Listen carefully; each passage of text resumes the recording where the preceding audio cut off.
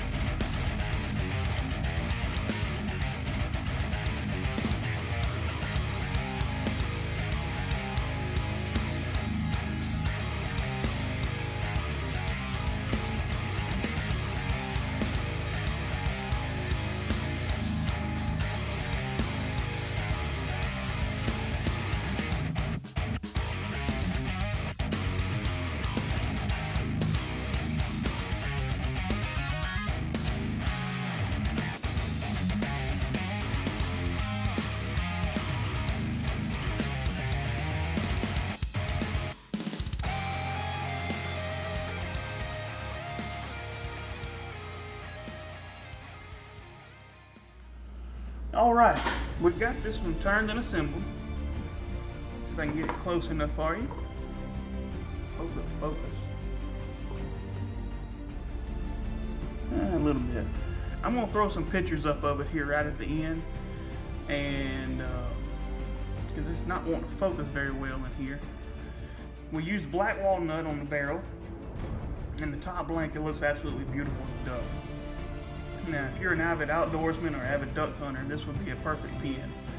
It's very well balanced, it writes very well, and I just can't say enough about it.